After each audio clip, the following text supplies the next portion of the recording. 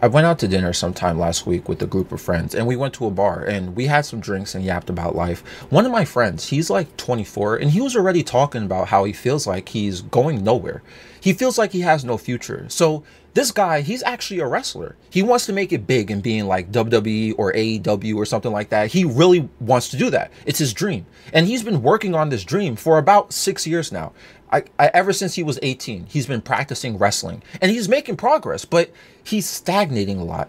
And I know this feeling because I haven't put out music in like six months or so, but for those who are familiar, I was do, doing music for a few years, and there was a video that is now deleted that some of you might remember where I almost cried on camera because I was talking to an A&R at a label, and they said they liked my music and my image, and then they pitched my music to an executive, and the executive declined me, and it made me extremely upset. I don't know if you guys remember that video, and he said, as I quote, "This is not what we're looking for right now."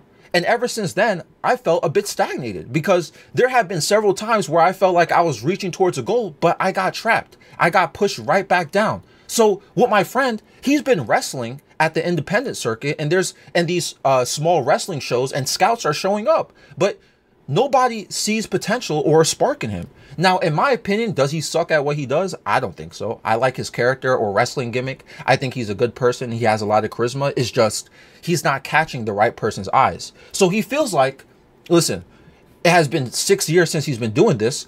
When does he hang out the towel, you know? That's how he feels. And it's like, it's making him very depressed. All that money he invested into wrestling and trainers because, P.S., you can't just walk into a wrestling ring. You have to get trained and stuff like that. That stuff costs a lot of money. To participate in some of these training schools as well, it's a lot of bread. And like I was mentioning with what happened to me, I also invested a lot of money into my stuff. Have I made money back on my music? Yes. Do I have memorable moments on TikTok and Instagram? A few songs do. But did I ever make it as a famous artist or something? No.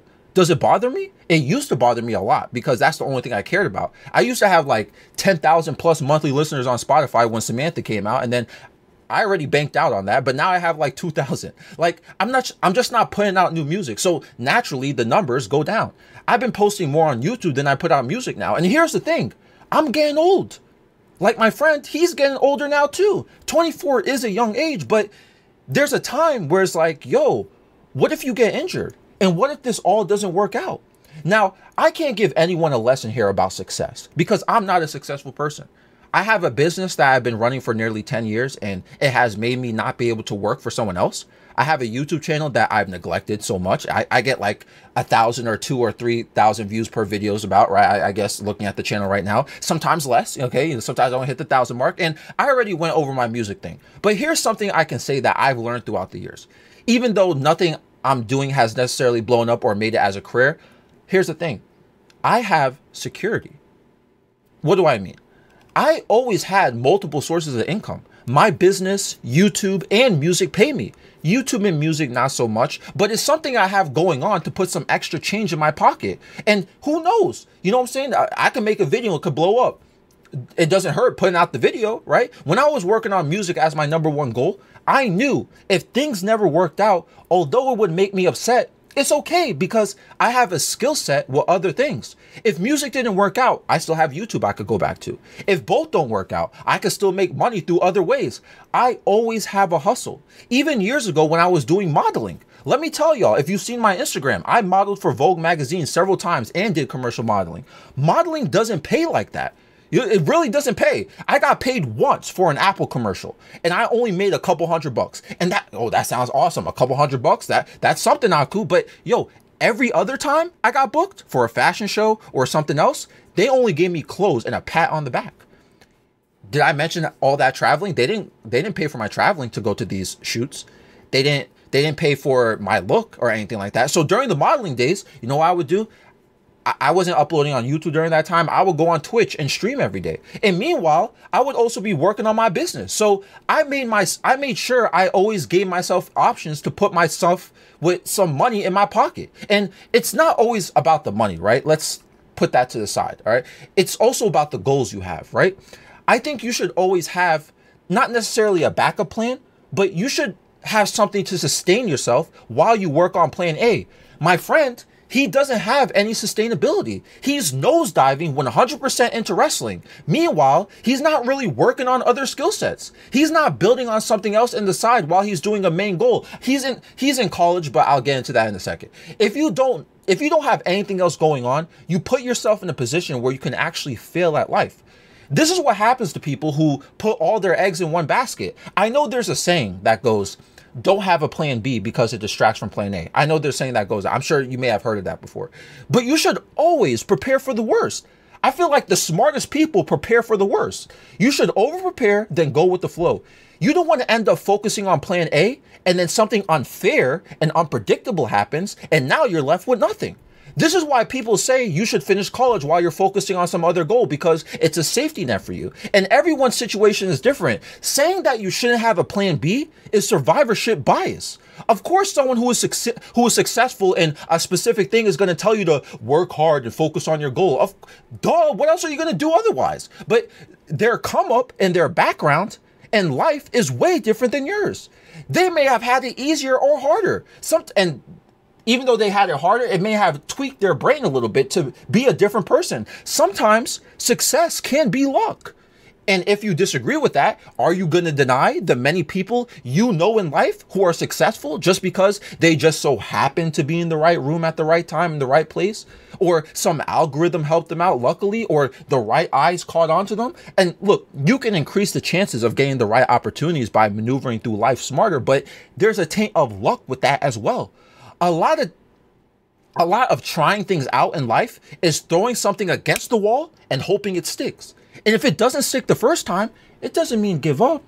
You can just keep throwing at the wall more and more. Hopefully it does stick. Sometimes you have to keep going no matter what.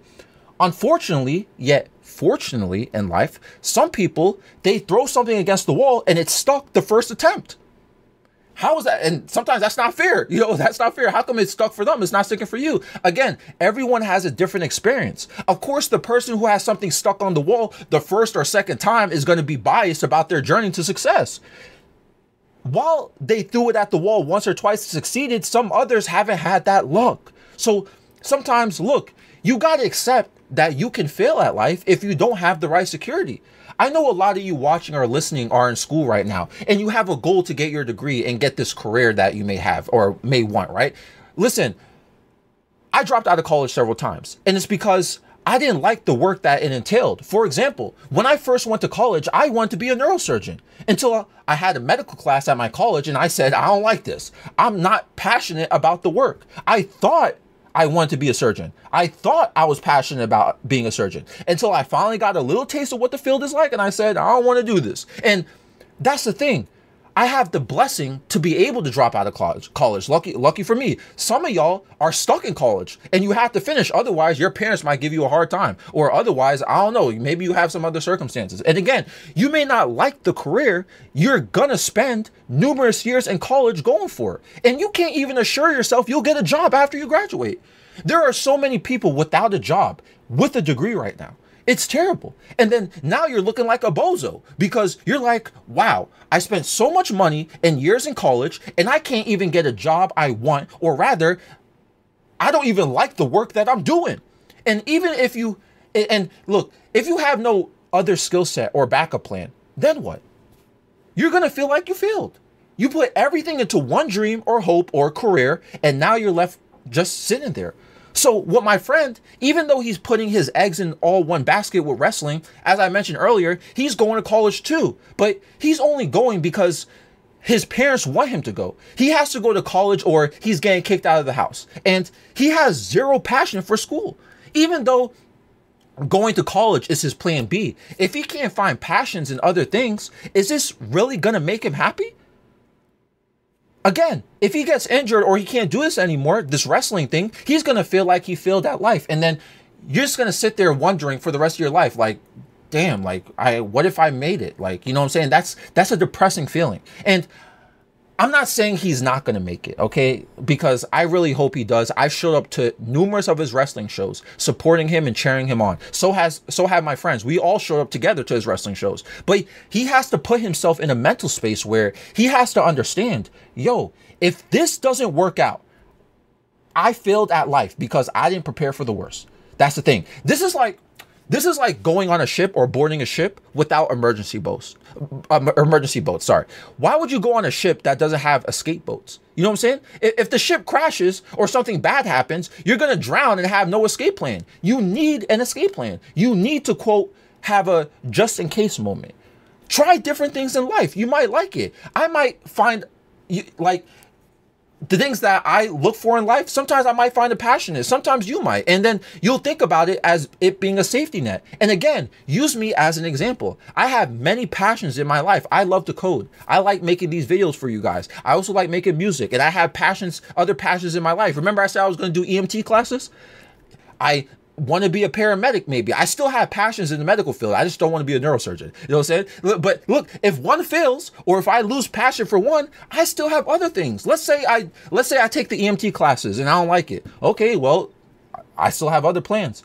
I, I still have other hustles you know? Even though i haven't put out music in like half a year i'm still working on my business working on youtube. And again those emt classes i'm i'm gonna get myself in shape I'm always keeping myself secure so I don't feel like I'm a failure, which is subjective at the end of the day because people measure success on their own bias. And some people, you're hard on yourselves about your own success bias, right? And quote successful people are always going to have a survivorship bias because they had their own background and circumstances. So make sure you have security in life and hold yourself together while you hustle and grind things out.